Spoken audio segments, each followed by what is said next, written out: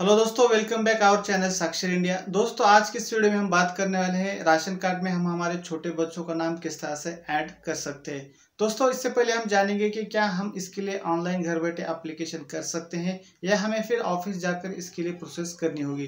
तो दोस्तों, आपको बता दें कि जहाँ तक हम जानते हैं, हमारे ऑफ़िस से भी हम इस तरह के काम कर कर देते हैं। तो इसकी पूरी प्रोसेस ऑफलाइन है। आपको पूरे डॉक्यूमेंट लेकर, आपकी ओरिजिनल राशन कार्ड बुक लेकर इसके लिए आपको ऑफ़िस जाना पड़ता है। वहाँ पे कुछ डॉक्यूमेंट देकर प्रोसेस करने के बाद छः से सात दिन में आपके बच्चों का नाम ऐड होकर आपको राशन कार्ड यहाँ पे रिटर्न मिलता है। तो आज मैं इस वीडियो में आपको बताने वाला हूँ आपको किस तरह से प्रोसेस करनी है। डॉक्यूमेंट कौन से आपको यहाँ पे लगने वाले हैं कंप्लीट डिटेल आज मैं इस वीडियो में आपको बताने वाला हूँ। इस पूरी वीडियो को देखने के बाद आप अपने बच्चों का राशन कार्ड में नाम आसानी से जोड़ सकते हैं। तो चलिए शुरू करते हैं।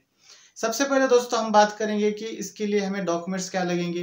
यहाँ पे आपको जिस बच्चे का नाम आपके राशन कार्ड में ऐड करना है, उस बच्चे का आपके पास आधार कार्ड है तो आपको आधार कार्ड की एक जेरोक्स कॉपी लगने वाली है। अगर आपके पास आधार कार्ड अभी नहीं बना तो आप उसका बर्थ सर्टिफिकेट भी यहाँ पे दे सकते हैं।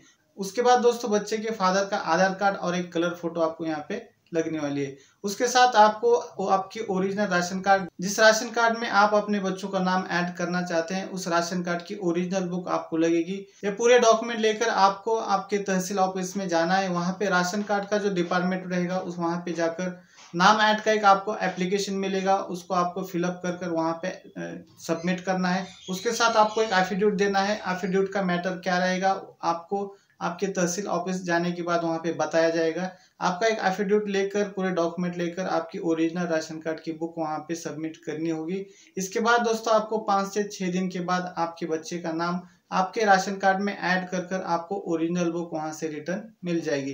ये पूरी प्रोसेस ऑफलाइन है। आपको घर बैठे इसके लिए ऑनलाइन फॉर्म भरने के बाद कोई भी नाम ऐड करने की प्रोसेस नहीं होती। अगर होती भी होगी तो उसके लिए बहुत टाइम लगता है। अगर आपको जल्दी से जल्दी इस काम को करना है तो आप ऑफ़िस जाकर ऑफलाइन इस प्रोसेस को आसानी से कर सकते हैं। तो दोस्तों, इस वीडियो में इतना ही। अगर आपको जानकारी अच्छी लगी हो तो इस वीडियो को एक लाइक ज़रूर कर देना। साथ ही साथ अपने फैमिली अपने फ्रेंड के साथ इस वीडियो को शेयर करना। और उस ऐसी ही महत्वपूर्ण जानकारी पाने के लिए हमारे चैनल से जुड़े रहना। तो मिलते हैं अगले वीडियो में कुछ नई जानकारी के साथ। धन्यवाद।